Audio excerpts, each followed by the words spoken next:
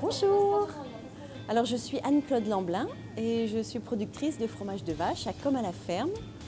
Mes fromages sont sur le court-circuit. Aujourd'hui, exceptionnellement, c'est chouette. On attend euh, une cliente qui passe sa centième commande. Alors on lui a fait une petite surprise. J'espère que ça va lui faire plaisir. On l'attend avec impatience. Eh bien, on vous a découvert euh, à la télévision lors d'un reportage qui faisait votre promotion euh, lors de l'ouverture. Et le drive nous va bien parce que le soir, on n'a pas forcément le temps de faire nos courses et on trouve l'esprit marché très intéressant. On a des bons produits euh, locaux, c'est ce qui nous intéresse.